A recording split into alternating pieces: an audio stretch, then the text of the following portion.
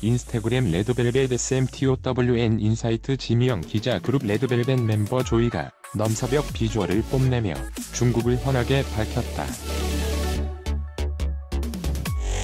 인스타그램 레드벨벳 SMTOWN 무대에 오를 때와는 달리 옅게 메이크업을 한 조이는 뚜렷한 이목구비를 과시하며 부러움을 자아냈다.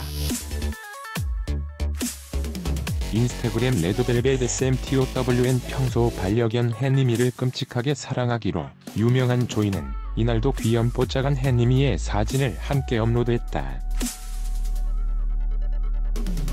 인스타그램 레드벨벳 SMTOWN